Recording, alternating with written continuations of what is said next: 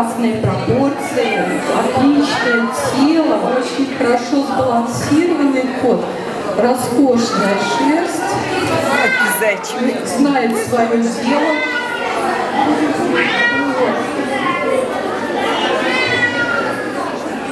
Правильная форма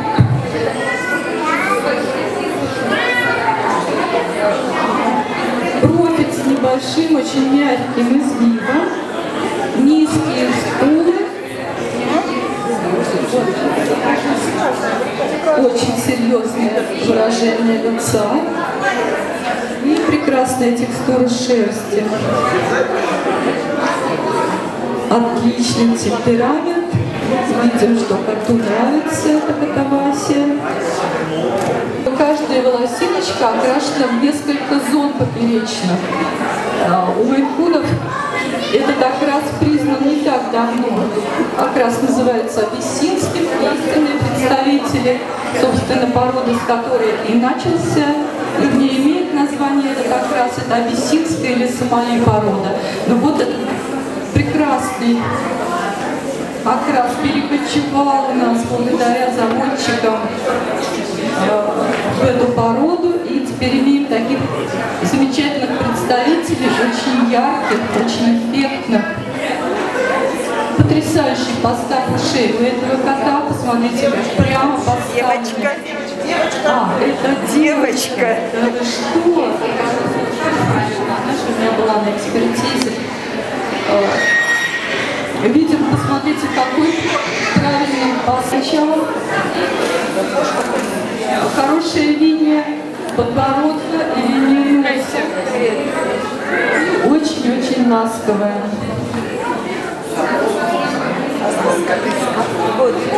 Ну, конечно, выставка кошек – это шоу, шоу красоты, да. Выбираем самую-самую красивую, самую... Вот такие вот кошки, недаром это самые-самые крупные кошки в мире домашние. Очень длинный хвост, роскошно опушенный. Отличное, очень тяжелое тело. Посмотрите, какие ноги мощные. Смущался малыш. Черно-серебристый окрас. Такие хорошие перспективы уже сейчас видны. Отличный постав глаз, хороший постав ушей. Уши достаточно крупные, прекрасная шерсть и очень чистое, хорошее серебро.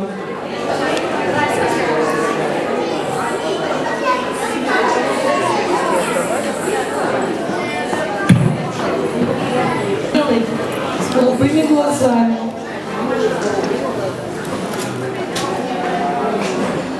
Прекрасное тело.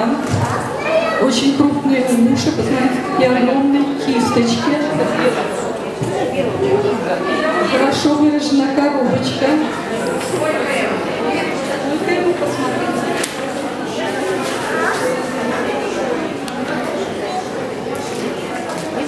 Великолепный подбородок, красивая линия подбородка и линия носа, они 7, полтора годика. Ну, Тоже, в принципе, малыш. До трех лет они изменяются и растут. отличные короткошерстные персидские, все-таки у британских котов достаточно высоты, не короткие, здесь в пропорции цвет, толстые в основании, крыльки, такой правильный хвост, короткая мощная шея, достаточно крупная голова, широкий постав ушей, и ушки невысокие, очень отличается от тех, что мы видим сейчас у мейнкунов. Ушки по ширине должны быть шире, чем высота этого уха. Глаза в окрасе должны быть только оранжевые. Если мейнкунам старикам совершенно никаких претензий не было к цвету глаз, то у британских кот я